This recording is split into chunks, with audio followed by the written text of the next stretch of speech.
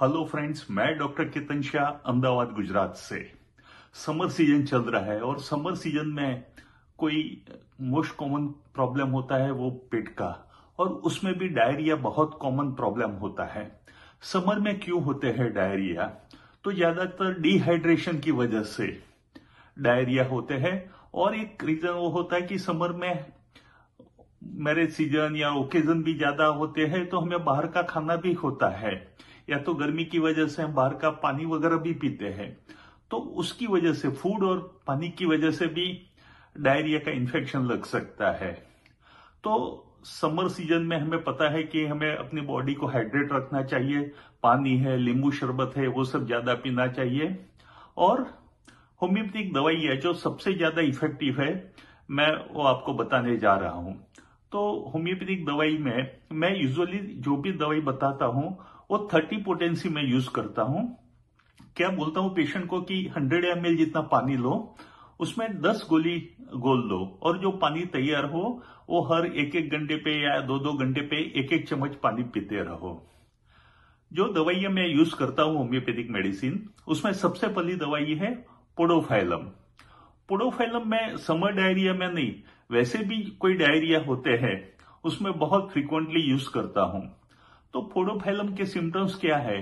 तो आपको याद रखने के लिए फाइव पी हम जब पढ़ाई करते थे तो हमें बताया जाता था कि फाइव पी याद रखना है। फाइव पी मतलब क्या है?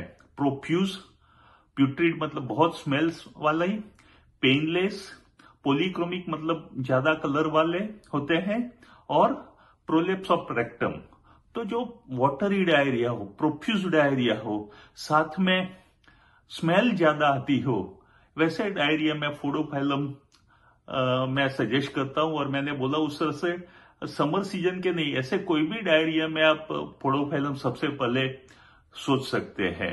और फोडोफाइलम है, वो लीवर रेमेडी भी है तो पेट की तकलीफों में बहुत अच्छे से यूज़ होने वाली ये दवाई है। सेकंड दवाई मैं बताऊँगा ब्रायनिया हम मानते हैं कि ब्रायनिया यूजुअली कॉन्स्टिपेशन में, जो ड्राइनेस की वजह से जो कॉन्स्टिपेशन होता है उसमें यूज़ होता है। लेकिन ब्रायोनिया समर डायरिया की भी मेडिसिन है। और हमें पता है कि कई बार days are hot, night are cold, वो ब्रायोनिया का सिम्टम्स होता है। मुँह में ड्राइनेस बहुत होती है और ड्राइनेस की वजह से पेशेंट बहुत ज़्यादा पानी एक साथ पी लेता है। तब आप ब्रायोनिया सोच सकते हैं। चाइना। चाइना भी थर्टी पोटेंसी में यूज़ करता हूँ और चाइना में हमें पता है कि वीकनेस ज़्यादा होती है। डायरिया के बाद बहुत सारी वीकनेस आ जाती है। पेट गैस से भरा हुआ रहता है। या तो पेशेंट को ऐसा फील हो कि मुझे डकार आ जाए या तो गैस नीचे से पास हो जाए तो वो अच्छा है मेरे लिए।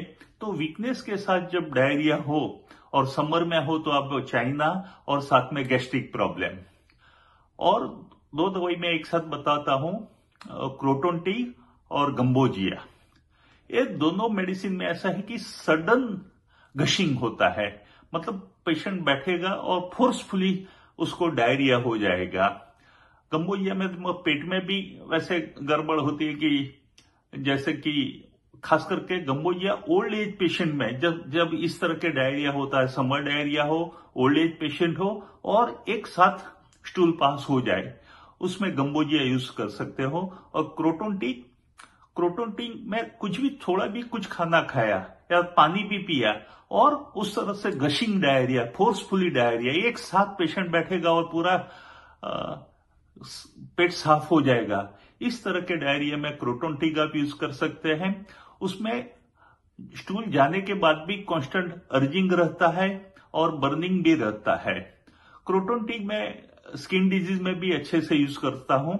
स्किन डिज़ीज़ में एक्जिमा जहाँ बहुत खुजली होती है, उसमें भी क्रोटोनटेक बहुत अच्छे से यूज़ होने वाली दवाई है।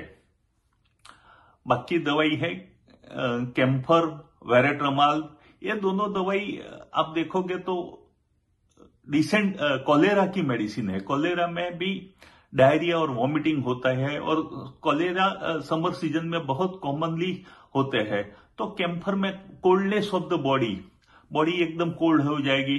सिंकिंग सेंसेशन जैसे ऐसा लगा कि पेशेंट का ब्लड प्रेशर डाउन हो गया है, उसका आप बोलोगे कि पल्स लो हो गए हैं, उसके पैरों में दर्द होता होता है तो जहाँ सिंकिंग सेंसेशन बहुत पेशेंट ऐसा लग रहा है कि कुछ अगर नहीं किया तो उसको जान का खतरा हो जाता है तो और बॉडी बहुत कोल्ड हो जाती है। उसका मुँह ठंडा हो जाता है, टंग ठंडी हो जाती है तो ऐसे केस में आप कैम्फर यूज़ कर सकते हैं। वेराटन भी इस तरह के मेडिसिन है जहाँ पे आप यूज़ कर सकते हो कोलेरा में। आर्सेनिक काल्ब, ये दवाई भी सडन वीकनेस और उसमें भी पुट्रीड स्मेल आती है।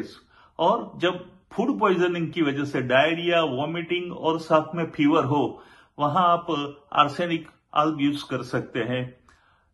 जेट्रोफा नाम की दवाई है, या तो बहुत और भी जो दवाइयाँ है, वो आप इसमें समर डायरिया में यूज़ कर सकते हैं। तो ये दवाइयाँ काफ़ी यूजफुल रहेगी। थर्टी पावर में लेने से और फ्रीक्वेंटली पानी में लेने से बहुत अच्छे से यूज़ होने वाली ये दवाई है, और बॉडी को हाइड्रेट रखना है, बहुत सारा पानी पीना है।